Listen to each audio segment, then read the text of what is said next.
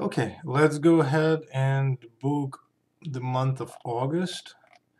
Again, we're going to book August using general journal entries just to solidify our knowledge of those and it's a great way to practice debits and credits again it's a way you would book it if you were in a crunch mode and you absolutely had to catch up and it's time to file taxes uh, to save time you would probably bypass all the interfaces and just uh, go with general journal entry. So let's let's do one more month using that to solidify this capability. Again debits and credits are right here on the interface so I'm not going to be following along with our debit and credit window because again you have it all right here and uh, it's a great way to practice and you can follow along with me here. So let's let's get going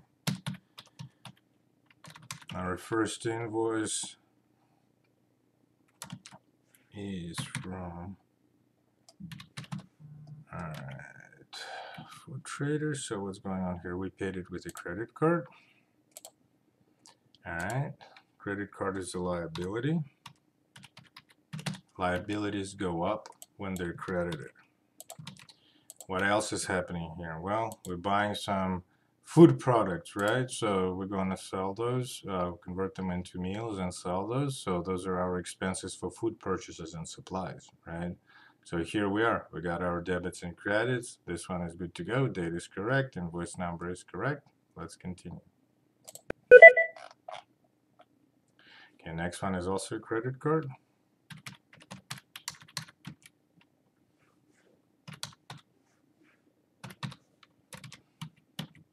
All right, we paid a credit card right here. Again, liability goes up.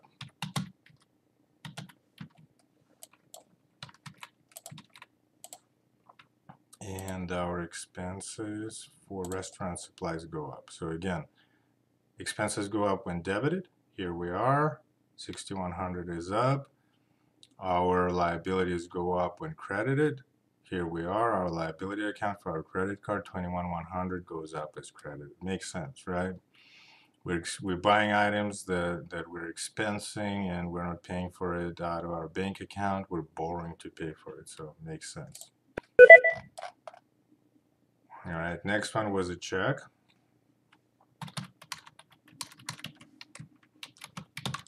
Again, the limitation here is that you know we can't input check number in a way that uh, check writing interface allows us to. But we can still enter it into the entry number and that would remind us during reconciliation that hey, it's a check number, right, when we see it on the statement. So again, now our bank account is getting affected. It's an asset. Assets are reduced with credits.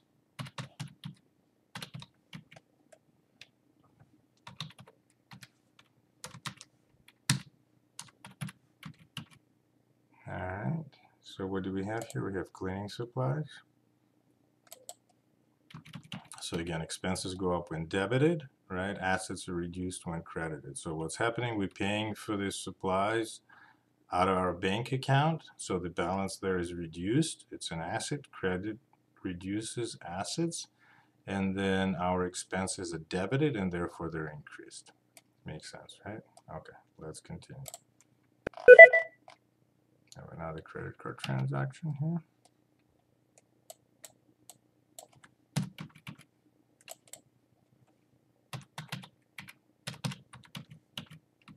All right, now our credit card account is being affected. Liability goes up, right? Because we are buying items, um, in this case drinks, that we're going to sell. So our drink purchases expense goes up. However, again, we're not paying for it with uh, money out of our bank account. We're paying for it by borrowing against our credit card, right? So here we are. Again, liability goes up when credited, right? And expenses go up when debited. Good to go. Dates are correct. Let's continue.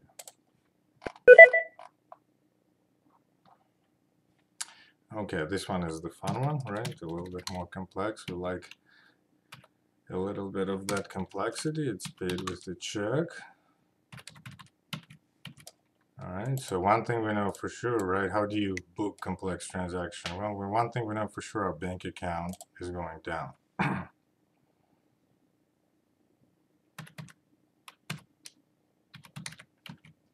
right, what else do we know? Our utilities expenses going up.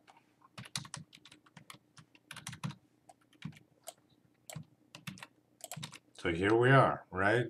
Expenses go up when debited and assets are reduced when credited. Because we're paying for it with a check, our balance in our bank account is reduced and credits reduce that. And then again, our expenses go up and they go up when they're debited. So our 63100 utilities expense account goes up.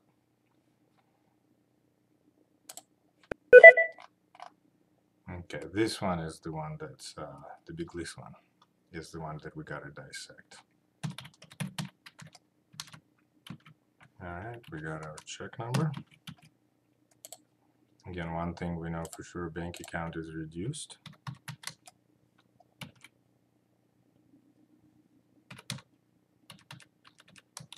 All right, and now we have multiple expense accounts on this one, right? We have rent, they're kind of combined, but it's a great illustration that again, the number of accounts you debit and credit in any given transaction is absolutely irrelevant.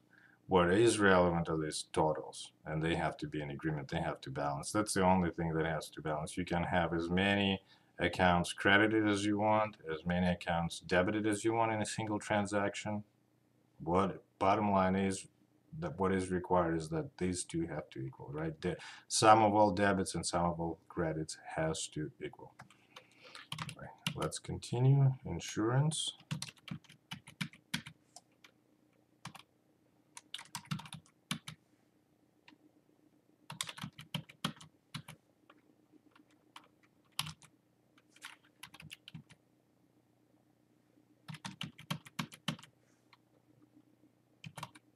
All right, so here we are, right?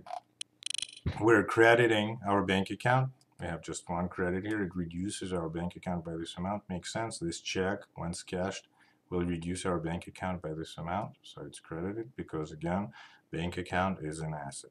Now, all of these expenses is what we're paying for, right? So they go up. And again, in this case, we're hitting multiple expense accounts. It's irrelevant how many we hit. What is relevant is that the sum these debits have to equal to this credit. All right, we're good to go. At this point um, we're done booking invoices. Let's continue with booking receipts for the credit card.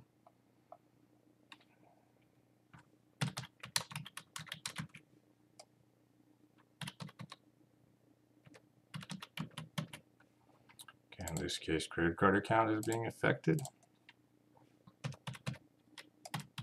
liability goes up and liabilities are increased through credits. What else? We have fuel.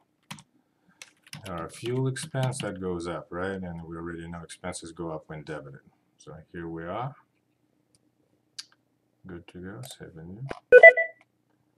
Alright, another gasoline expense.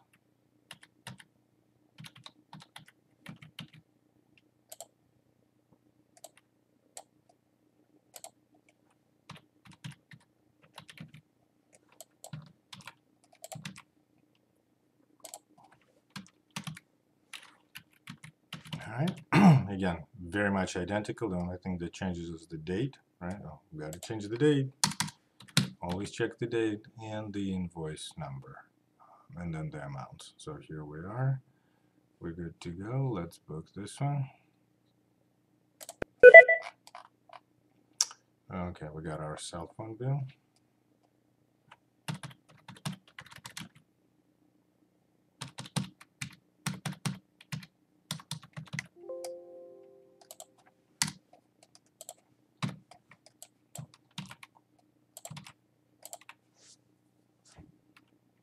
Again, we know we're paying with a credit card.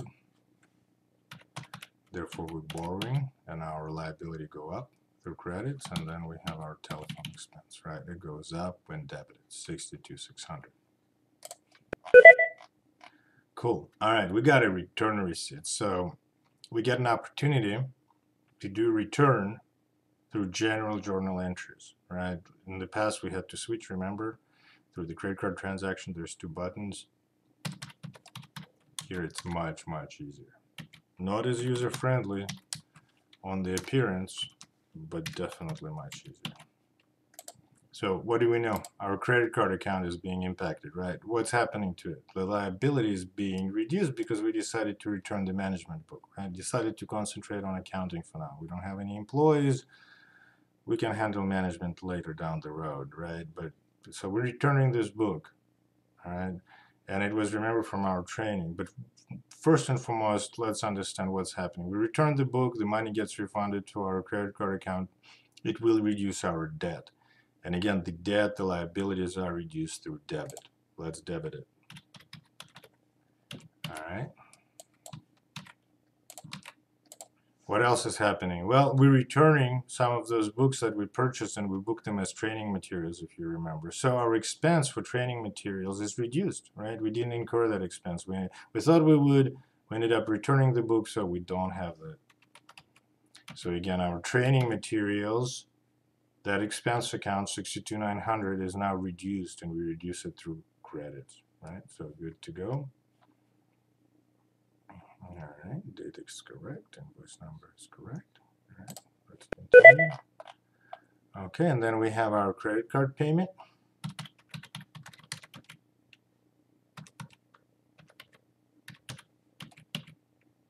All right what do we know? We know that our credit card balance, right, the debt is reduced by this amount. Because we're paying, paying it down. Well, we know offsetting has to be credit, right? And we're paying it out of our bank account. And we know that bank account is an asset. And when we credit an asset, it goes down. Makes sense, right?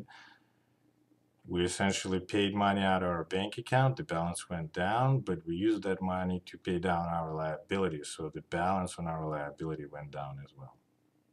All right. We're good to go. Save and close. And that concludes booking invoices and credit card receipts